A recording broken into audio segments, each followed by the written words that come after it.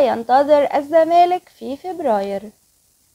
متابعينا أهلا بيكم في فيديو جديد من فيديوهات هانا سبورت. قبل ما نبدأ الفيديو يا نشترك في القناة ونفعل زر الجرس عشان يوصلنا كل جديد من الفيديوهات ونعمل like و share للفيديو عشان يوصل لأكبر عدد ممكن من الجمهور. ونستمر في نشر المزيد من الفيديوهات بدعمكم لنا ويلا بينا نبدأ الفيديو. ينتظر الزمالك ست مباريات قوية خلال شهر فبراير حيث سيبدأ مشواره في دور المجموعات من دوري أبطال أفريقيا موسم 2022-2023 ويقع الفارس الأبيض في المجموعة الرابعة رفقة شباب بلوزداد الجزائري المريخ السوداني والترجي التونسي. ويستعد الزمالك حاليا لخوض أول مباراة له في شهر فبراير حيث سيواجه نادي فاركو ضمن الجولة السبعتاشر من الدوري المصري عشرين اتنين وعشرين عشرين تلاتة وعشرين واللي هتلعب في الخامسة مساء الاثنين المقبل بتوقيت القاهرة السادسة بتوقيت مكة المكرمة السابعة بتوقيت أبو ظبي. بينما سيستهل الفريق الأبيض رحلة البحث عن النجمة السادسة في دوري أبطال أفريقيا عندما يستقبل شباب بلوزداد في السادسة بتوقيت القاهرة السابعة بتوقيت مكة المكرمة الثامنة بتوقيت أبو ظبي من مساء الجمعة العاشر من فبراير على ملعب استاد القاهرة الدولي.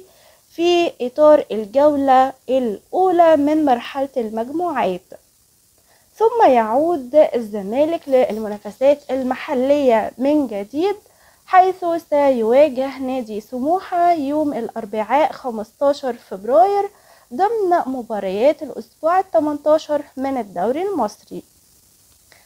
ويلعب الزمالك مباراته الثانية في مرحلة المجموعات بدوري الأبطال يوم الجمعة 17 2 في تمام الثالثة مساء بتوقيت القاهرة الرابعة بتوقيت مكة المكرمة الخامسة بتوقيت أبو ظبي ضد المريخ السوداني.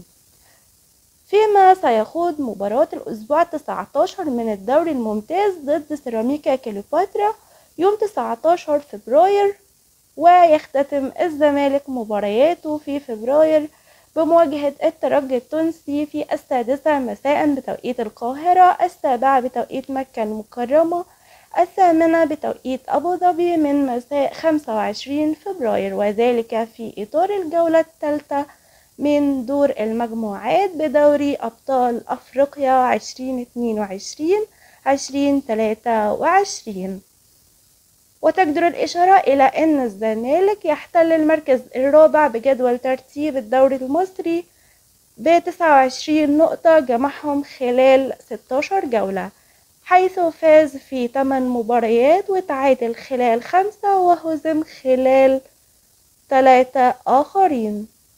كنت معكم حياة رمضان أشوفكم في فيديو جديد. bye bye.